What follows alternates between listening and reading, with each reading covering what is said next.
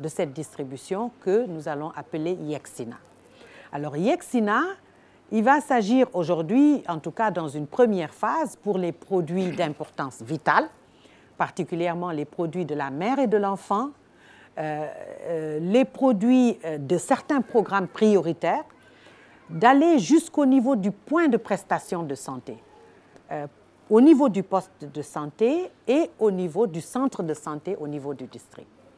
Voilà la deuxième étape de la distribution, toujours dans le seul objectif de faciliter, d'améliorer l'accès euh, euh, aux médicaments pour les populations partout où elles se trouvent sur l'ensemble du territoire national. Une bonne idée de la pharmacie nationale d'approvisionnement, la PNA, mais également qui entre dans des politiques sociales. Politiques sociales comme avec l'agence que nous avons connue dans le cadre de la CMU, couverture maladie universelle, mais également la Direction générale de l'action sociale. Khadijatou Alain Char, vous avez parlé tantôt de la carte d'égalité des chances. La carte d'égalité des chances nous permet d'avoir accès à quoi concrètement? Euh, Nous l'avons cité juste tout à l'heure. Mais euh, la carte d'égalité des chances, comme je l'ai dit, permet d'avoir, euh, de permettre l'accessibilité, permet donc l'accessibilité des personnes en situation de handicap à cinq secteurs cinq domaines euh, ou cinq avantages. Euh, le premier avantage est l'avantage santé. On a parlé de cette possibilité pour les personnes handicapées d'être enrôlées dans les mutuelles de santé à travers l'agence de, couverture maladie universelle. Au-delà, nous avons aussi au niveau de l'action sociale un programme national de réadaptation à base communautaire. Ce programme aussi euh, met à la disposition, en tout cas permet l'accès euh, au niveau le plus proche des populations, euh, donc permet l'accès à des activités génératrices de revenus, des, disons du matériel de réadaptation pour les handicapés moteurs, mais aussi tous les types de handicaps. C'est-à-dire, nous distribuons aussi où nous mettons donc à disposition des personnes euh, malvoyantes, euh, des cannes, euh, des personnes malentendantes, des appareils auditifs. Donc pour vraiment compenser cet aspect de la réadaptation qui est quand même des... disons la réadaptation est chère. Elle est chère en général.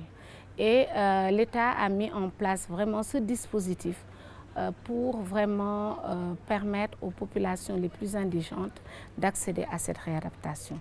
Donc ça, c'est le programme national de réadaptation à base communautaire. Mais au-delà, euh, la Direction générale de l'action sociale développe aussi le programme PAPA, qui est un programme vraiment orienté vers les aînés, donc les personnes âgées. on a, nous avons aussi mis en place des programmes pour l'enfance déshéritée, et un programme euh, pour euh, les veuves et euh, donc vraiment dirigé vers les femmes démunies. Et donc voilà un peu ramasser les différents programmes qui sont développés par la Direction générale de l'action sociale à travers ces directions. Khadijatou Gaye Alain Char nous a parlé, monsieur le directeur général, de quelques innovations au niveau de la Direction générale de l'action sociale. Nous pouvons également dire de même pour la Direction générale de la santé, n'est-ce pas? Oui, nous avons eu à parler d'activités phares comme par exemple ce qui concerne les sages-femmes itinérantes. Mais je dois également dire que la Direction générale de la santé, qui applique la politique de santé, donc s'appuie sur les axes majeurs, notamment la protection du couple mère-enfant, la lutte contre les maladies, la gouvernance et le renforcement du système de santé. Et je pense qu'aujourd'hui, nous pouvons comprendre qu'il y avait des chantiers qui étaient donc en cours d'exécution. Je crois que l'engagement était de les terminer, de les équiper et de mettre en service ces, structures. Je crois que pour l'essentiel, ça a été fait. Mais il y a beaucoup d'autres réalisations également qui sont en cours. D'autres occasions nous permettront d'explorer davantage d'informations par rapport à cela. Mais je crois que dans les perspectives également, il est question de créer le centre d'oncologie médicale. Je crois que c'est une action majeure qui nous permettra de mieux lutter contre le cancer. Mais nous avons également, même dans le secteur privé, un grand hôpital qui va être sans compter l'unité de fabrication de Solité, qui a été la pose de la première pierre a eu lieu récemment. Et je pense qu'à côté de cela aussi, il faut ajouter d'autres initiatives qui permettront toujours de renforcer le capital humain. Et je, comme je l'ai dit, nous serons donc édifiés davantage par rapport à ce programme qui entre toujours dans le cadre du plan Sénégal émergent qui fera que Dakar va être un et maintenant le capital humain donc sera davantage développé dans le cadre du PSE. Même monsieur le directeur général, vous avez un problème parce que l'accueil dans les hôpitaux aussi est souvent décrié par les populations. C'est pourquoi j'ai annoncé quelques mesures qui vont venir. Je crois qu'il y a eu déjà 10 directives qui ont été donc euh, établies et que les hospitaliers sont en train... parmi lesquelles? Il y a d'abord euh, l'accueil, l'amélioration de l'accueil avec le bureau des usagers. Je crois qu'il faudrait qu'on arrive à faire de telle sorte que les, bénéficiaires des services d'urgence, une fois arrivés dans les services d'urgence, qu'on parvienne à les prendre en charge dans un délai très court. Il faut également qu'on qu améliore la communication. C'est ce qu'on appelle la régulation. Nous avons le service qui s'occupe de l'assistance médicale d'urgence, le SAMU, qui a un système de régulation qui permet donc de connecter les structures sanitaires. Mais nous voulons donc décentraliser les activités du SAMU et faire de telle sorte que chaque fois que quelqu'un tombe malade, qu'on parvienne à assurer une prise en charge très rapide.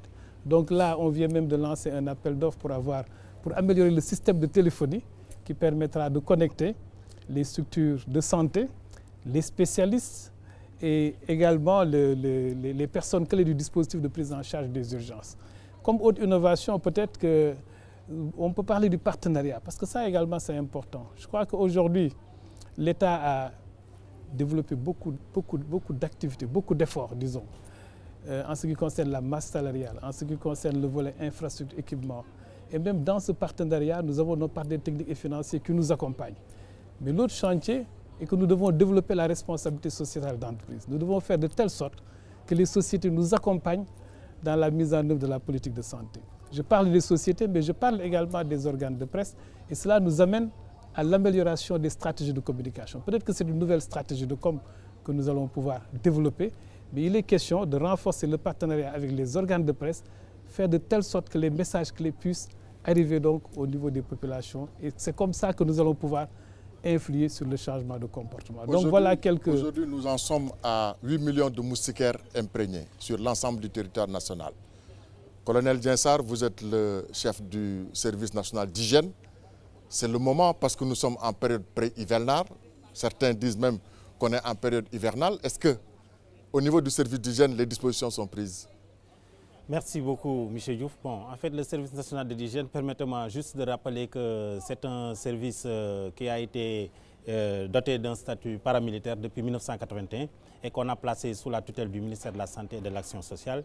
Et à travers cela, à la, la loi qui a donné des missions à ce service. Et parmi ces missions, bon, il y a les missions, en tout cas les plus importantes, c'est surtout de veiller et de faire veiller la législation, en tout cas et les règlements en matière d'hygiène et de salubrité publique, mais aussi rechercher les infractions et les, les, corriger, voire les, sanctionner en matière d'hygiène, éduquer les populations, sensibiliser les populations sur les règles d'hygiène, en tout cas individuelles, collectives, mais également participer dans le contrôle, les activités de contrôle sanitaire au niveau des frontières, répondre, appeler des réponses adéquates à la lutte contre les épidémies, certaines euh, préventions et lutte contre les épidémies, assister les autorités administratives. Bref, c'est des missions qui sont assez larges. Mais il faut dire que nous avons spécifiquement, par rapport à l'hivernage, des activités que nous faisons d'une manière euh, routinière pour faire, euh, pour faire la prévention de ces maladies hivernales. Parce que qui dit hivernage dit développement de certains vecteurs qui peuvent transmettre des maladies. Bon, aujourd'hui, je pense que le paludisme constitue, constitue l'une des menaces par rapport à l'hivernage, mais il faut dire que depuis que le programme a, en tout cas, euh, mis en œuvre certaines stratégies, on a vu que le paludisme a connu un recul, un recul dans notre pays. Mais néanmoins, des activités continuent à être menées et le service national de l'hygiène a eu beaucoup à accompagner ce programme, notamment dans les activités de sensibilisation pour l'utilisation des moustiquaires, mais surtout pour les activités de lutte antibactérielle. Parce qu'aujourd'hui, vous savez que pratiquement, il y a certains districts sanitaires dans trois régions où on a mis en œuvre la stratégie d'aspersion d'insecticides, les aspersions d'insecticides à effet ramenant. Donc, euh, c'est les aspersions intradomiciliaires où pratiquement le service national de l'hygiène constitue en tout cas les grands maîtres d'œuvre par rapport à cette euh, approche. Nous faisons la formation des, relais qui sont euh, appelés à faire les, les, pulvérisations, les superviser et les suivre. Autrement aussi, nous avons d'autres types d'activités qui rentrent dans le cadre de la désinsectisation, bon, surtout par rapport euh, à la prolifération de certains vecteurs liés euh, aux inondations. Bon, ça peut être toujours le moustique, mais bien d'autres vecteurs. Bon, au-delà du paludisme, je pense qu'aujourd'hui, bon, il y a d'autres menaces qui sont là. Euh, le chikungunya, nous avons vécu euh, une menace avec le chikungunya au niveau de la région de Kédougou. Et je pense que la dengue aussi, tantôt on a certaines euh, notifications de certains cas qui apparaissent. Et je pense que tout ça rentre, la lutte antivectorielle rentre dans le cadre de la prévention de ces, ces maladies. Aujourd'hui, la maladie à virus Zika aussi est une menace qui est là. Et je pense que aussi les activités de lutte antivectorielle, notamment la lutte antivecteur, euh, antilarvaire, constituent un des moyens efficaces de prévention de cette maladie. C'est aujourd'hui aussi le service national de l'hygiène, en tout cas, participe d'une manière très active à cette campagne de, de, de lutte antilarvaire, à travers surtout des, formations de relais pour faire la communication de proximité. Parce que bon, les visites à domicile, nous, nos agents, ils le font, mais ils sont souvent suppléés par des relais qui sont formés. Parce que vous savez que par rapport aux moustiques transmetteurs de maladies, il y a l'anophèle qui, qui, est courant, qu'on peut se, se, se protéger avec l'usage des, des, des, moustiquaires imprégnés, les aspersions intradomiciliaires, j'en ai parlé, mais par rapport à l'Aedes, qui est un genre de moustique qui transmet certaines arboviroses. Et parmi ces arboviroses, on peut citer le chikungunya, la fièvre jaune, la dengue, et même le virus Zika, et dont le moustique, en tout cas, euh, est agressif, surtout dans l'après-midi vers le petit soir. Ce qui fait que bon, il faut des activités assez spécifiques pour lutter contre ces vecteurs, et notamment la lutte antivirale parce que c'est un vecteur qui est le plus souvent domestique et qui n'est pas tellement accessible par l'usage de, certains outils traditionnels.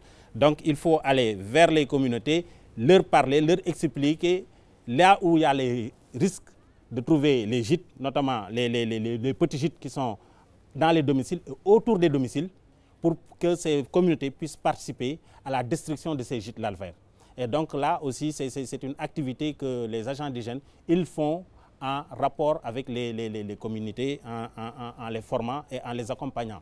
Bon, maintenant, en dehors de ces maladies qui sont transmises par les vecteurs, il faut aussi noter certaines maladies infectieuses qui euh, qui se développent avec la présence de l'eau. Bon, aujourd'hui, je m'en veux, pour exemple, dans, dans certains quartiers, c'est une pratique courante que l'on voit. Pendant l'hivernage, lorsqu'il y a beaucoup d'eau, il y a de l'eau qui coule, soit c'est des inondations, soit bon, peut-être c'est des, des, rétentions d'eau qui sont temporaires. Il y a dans certains ménages où les gens qui sont, en tout cas, des comportements très peu citoyens, qui se permettent parfois d'ouvrir leurs fosses et de laisser échapper leurs leur, leur fosses septiques, profitant de ces, de, de ces courants d'eau pour pouvoir évacuer leurs fosses septiques. Et vous, vous, savez que les fosses septiques constituent de véritables bouillons de culture. On Colonel. Moussa oui. Diensar, merci du service national d'hygiène. Nous avons eu comme invité également Dr Anne Ndiaye, directrice euh, de la PNA, la pharmacie nationale d'approvisionnement, le professeur Khadizatou Alain Char Gaï, directrice générale de l'action sociale, mais également le directeur général de la santé, Dr Pop Amadou Diak. Temps fort de cette deuxième édition de l'exposition Santé Action sociale, cette exposition qui se passe à la place du souvenir, mais également des journées de consultation gratuites au niveau de stade Amadou Bari de Guédiawaye, mais également à Dalal Djam. À Dalal Djam pour les personnes du troisième âge, les femmes enceintes et les enfants de 0 à 5 ans. La couverture universelle en moustiquaire imprégné, 8 millions à la disposition des Sénégalais, comme encore une fois témoigner de l'intérêt que les autorités accordent au domaine de la santé et de l'action sociale. Demain vendredi, Dans l'après-midi, le ministre, à la tête d'une forte délégation, sera reçu par des mairies d'arrondissement pour constater, mais également évaluer tout ce qui est de ce domaine, à savoir la couverture universelle en moustiquaire imprégné, constater de visu ce qui a été fait. Demain vendredi, la banlieue dakaroise reçoit le professeur Aomari Kolsek.